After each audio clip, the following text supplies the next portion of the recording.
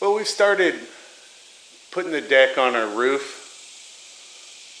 and we're uh, going up the center of the scissor truss first.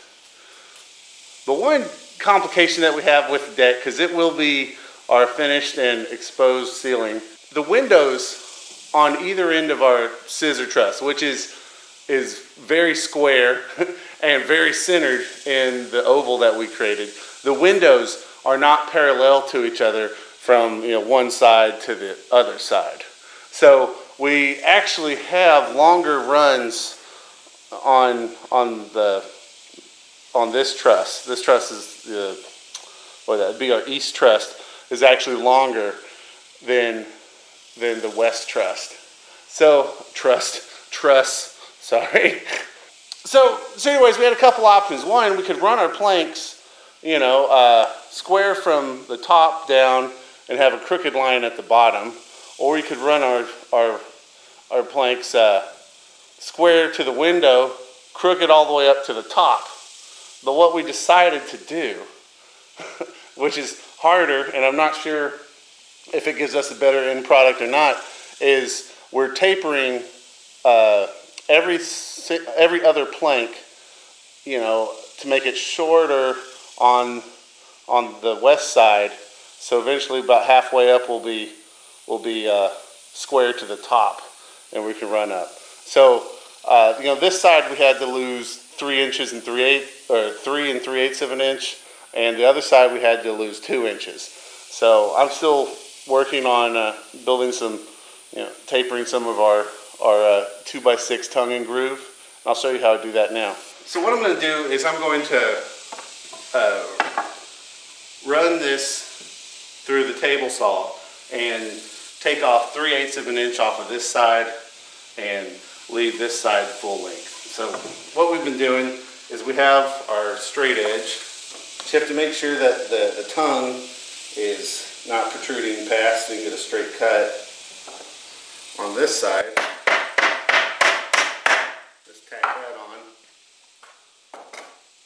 And then this board isn't as wide as our 2 by 6 tongue groove, so there's always a, you know, a quarter inch sticking out. So if I want to take a, a 3 eighths of an inch off this side, I need to measure back uh, a quarter inch plus 3 eighths. And that way with this straight edge, I can run it against the guide on the table saw and get a nice straight cut here so we don't have a, a wonky gap in our boards.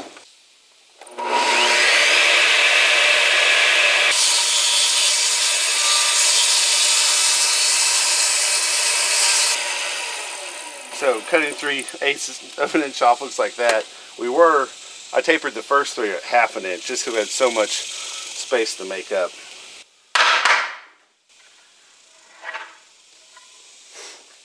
So we lost our groove by cutting it. And you can cut either side off, just whatever uh, would be easier for you to manufacture. You know, we're using a router table with a, a half inch, you know, plunge bit, or I don't know what it's called.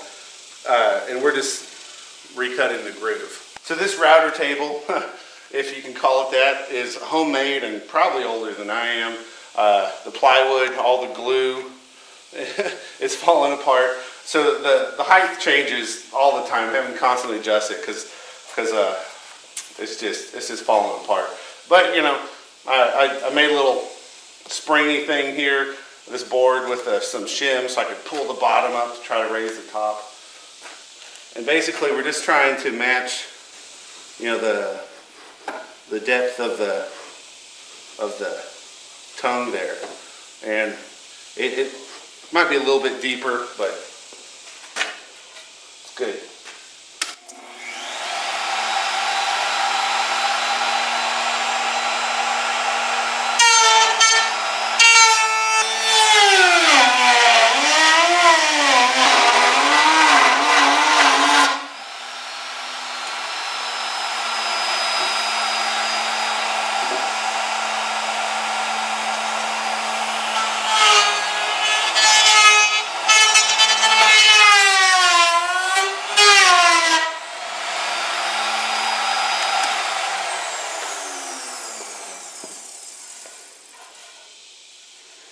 So now we have, you know, our our wedge shape and our tongue back. So we bought this tongue and groove, uh, you know, special order from Lowe's, and they got it from a local distributor that won't sell direct to public, and it's it's trash. It's absolute garbage. I mean, we were expecting something that you'd have to work with and pound together, but look at the tolerances on that tongue and that groove. I mean, that's just that's disgusting. Because what we wanted was to put this deck up there and for it to act like it was one solid piece of of material all the way up. So we've we're going to kind of stupid extremes get to, to use this material since I already sanded and stained everything. Uh, we're, we're filling it with liquid nails, mushing it together, and hoping that it'll strengthen and make it a less creaky roof. But we weren't, we didn't get mad enough soon enough as a problem. If, if we had uh, thought about it more carefully, we would have sent it back and said, no, get us something better. But we didn't and I put all the labor into this, so we're working with it. All right, so I'm up here on the scaffold. You're sitting on the deck. Ugh. So I have finished side with my tapered end, right?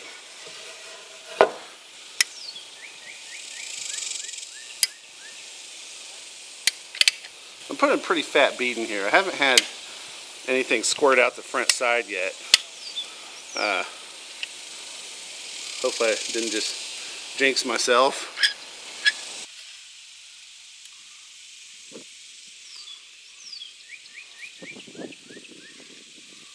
Ooh, a lot of squirt out here.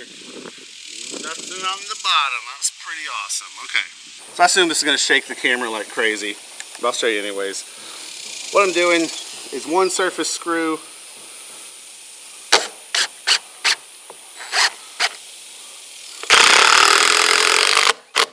and one of these uh, you know galvanized um, uh, not ring shank twist shank nails we have a, we have a huge box of these nails and these screws are like what are they they're $28 for 210 of them. So we're trying to conserve our screws a little bit.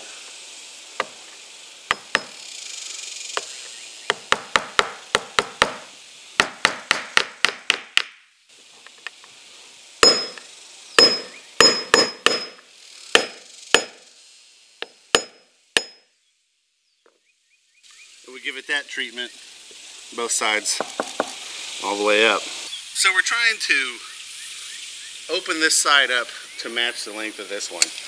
And let's just see where we're at right now. We're 64 and 3 quarters on this side.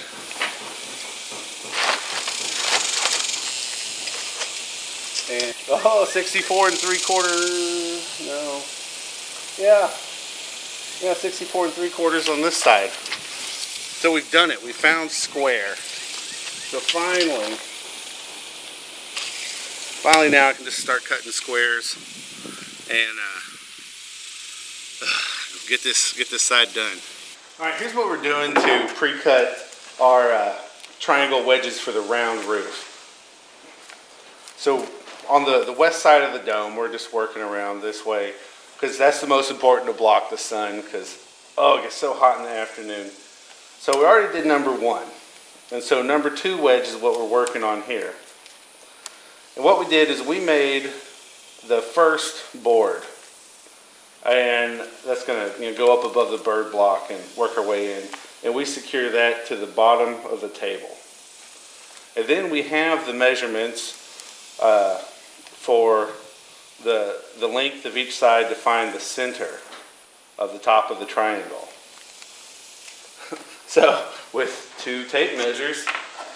The west side will be 133 and a 16th, and the east side will be one 135 and 7 eighths. We're gonna need to. You know what? I'm gonna need to move my board over. Cause I'm gonna fall off the end of the table here. our triangle is going to fall way over here in outer space. So I'm just going to do it the opposite direction with the finished side up. And then that's our center point for the triangle.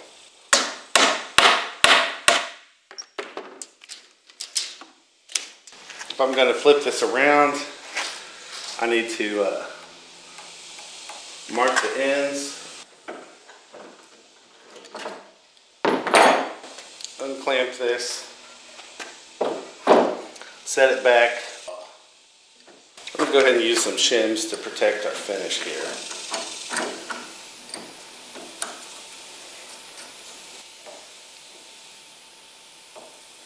I'm going to go ahead and double check my measurements. So I'm just holding the tape measure on the corner with some wood on either side.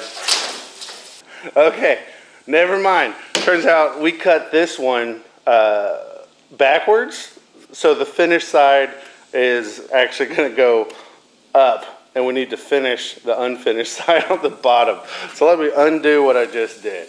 Undoing what I did, let's check again. Uh, looks like I changed it slightly.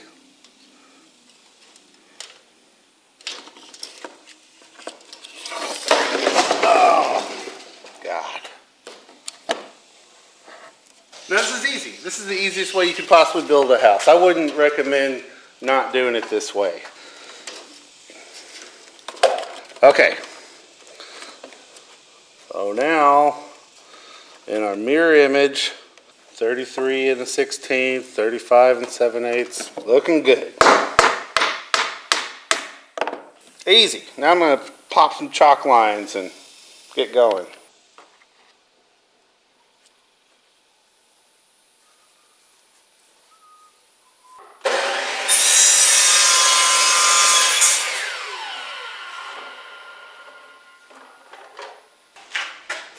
So what I've been doing is I, I cut the angle on one end of the board, fit it into my my grouping here. You know, try to figure out where where uh, the corner needs to be, typically with a straight edge, just so I don't get too close to it and make a mistake. So I don't want to go past that. Then I take my angle the same angle as I cut on that end and I cut it somewhere out here.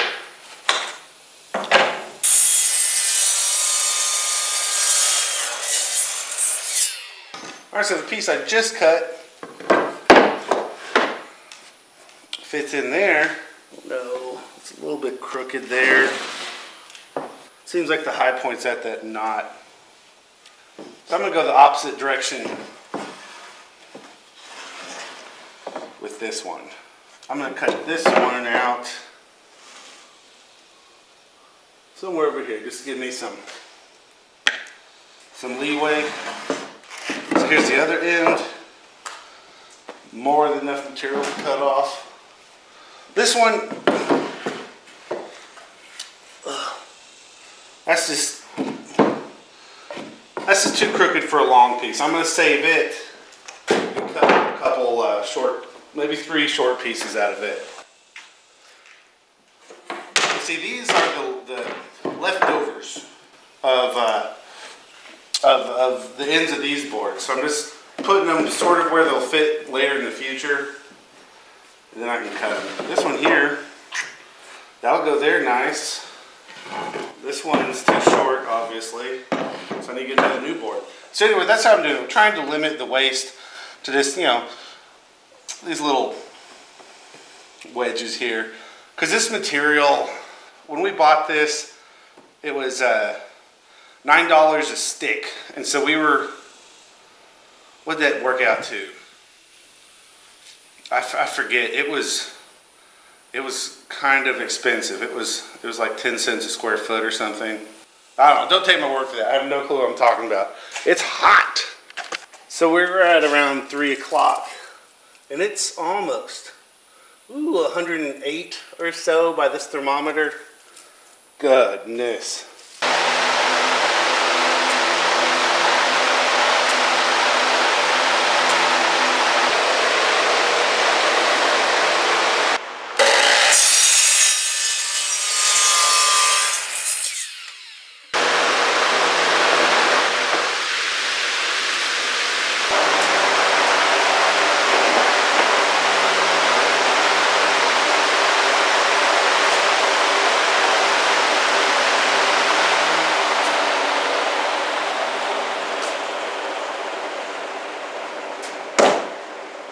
I got a pretty wildly uh, accurate cut uh, inside my blue line. So hopefully this will fit. It worked pretty good on the first run. But my dad cut those and he's got a little bit more experience with this stuff. Oh, that's it for today. It's way too hot.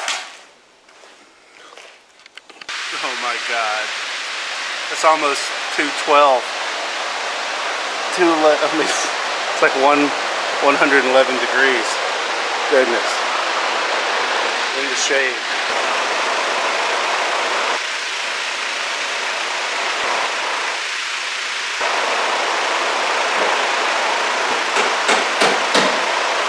Well, we've run out of the initial uh, tongue and groove that we had special ordered from Lowe's. And, you know, we weren't real happy with, with the size of the tongue compared to the size of the groove. So we decided just to, you know, fake some tongue and groove, make it ourselves. Uh, you know, we don't have a shaper and we don't have a, uh, a tongue and groove bit that will do this inch and a half. So what we're doing is, is we're uh, using the groover on the router to cut a slot, then we're putting in a piece of plywood. And so far I've done, you know, two of my triangular runs with that, and it's working pretty good. But the other problem we had was finding yellow pine that we liked. Uh, went to 84 lumber, went all over the place, and just didn't, nothing was looking very clean. You know, had, had just a ton of knots and just gnarly as hell. And uh, out of desperation, wound up at Home Depot and bought two by 12s. So what we're going to do is we're going to rip them in half and then do straightening cuts. And then uh, I'm going to plane one surface down. I'm going to groove and glue my plywood today. So I'm to show you how we're going to fake our tongue groove for the last two sections of our roof.